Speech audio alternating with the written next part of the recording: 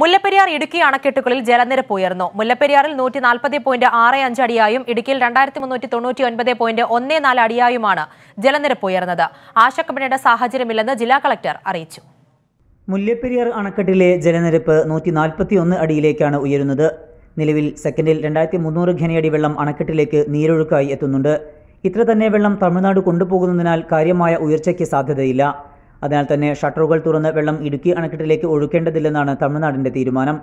ഈ മാസം ഇരുപത് വരെ തുടരുന്ന റൂൾ കർവ് പ്രകാരം നൂറ്റി നാൽപ്പത്തി ഒന്ന് അടി വരെയേ തമിഴ്നാടിന് ജലനിരപ്പ് ഉയർത്താനാവുകയുള്ളൂ. ഇരുപത് മുതൽ മുപ്പത് വരെയുള്ള റൂൾ കർവ് പ്രകാരം അനുവദനീയമായ പരമാവധി ജലനിരപ്പ് നൂറ്റി നാൽപ്പത്തിരണ്ട് അടിയിലെത്തിക്കാൻ തമിഴ്നാടിന് കഴിയും.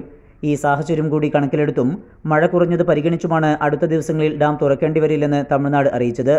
ഇടുക്കി അണക്കെട്ടിൽ രണ്ടായിരത്തി നാനൂറ് അടിയിലേക്കാണ് ജലനിരപ്പ് ഉയർന്നത് വൃഷ്ടിപ്രദേശത്ത് മഴ കുറഞ്ഞത് ആശ്വാസമാണ്. നീരൊഴുക്ക് കുറയുകയും ജലനിരപ്പ് താഴുകയും ചെയ്തതോടെ ചൊവ്വാഴ്ച രാത്രി ചെറുതോണി ഡാമിന്റെ ഷട്ടർ അടച്ചിരുന്നു. ഞായറാഴ്ച തുറന്ന ഷട്ടറിലൂടെ സെക്കൻഡിൽ നാൽപ്പതിനായിരം ലിറ്റർ വെള്ളമാണ് പെരിയാറ്റിലേക്ക് ഒഴുക്കിയിരുന്നത്.